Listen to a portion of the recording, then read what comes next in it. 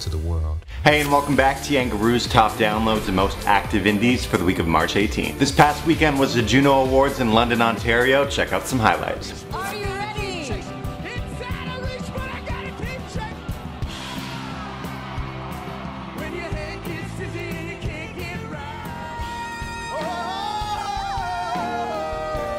It's in beauty that we move forward. When we change hearts, it comes in beauty.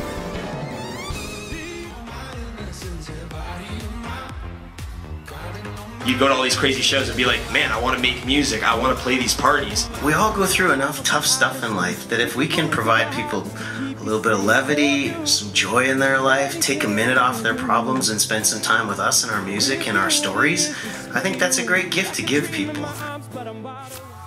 At number 10, it's Annette Daniels featuring Donta Wilson with He's My Savior. Szandra Mayer at number 9 with Never Ever. At number 8, it's Jade Naraine with You Decided to Stay. Jules at number 7 with Fool's Gold. At number 6, it's Calpurnia with Cell. George Canyon at number 5 with Out of This Town. At number 4, it's Marc Jordan with Walk on the Wilde Side. Dean Brody at number 3 with Whiskey in a Teacup. At number 2, it's Marshmello featuring CHVRCHES with Here With Me. And the number 1 most active indie of the week is The Interrupters with Gave You Everything.